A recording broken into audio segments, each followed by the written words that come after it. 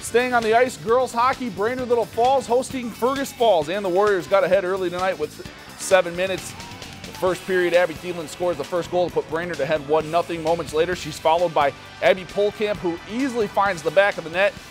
Taking to the second period now, Brainerd up 2 0, only a couple minutes in, and junior Grace Schulte floats the puck in on a long shot as Brainerd takes a 3 0 lead over Fergus Falls, and they'd roll 10 to 1.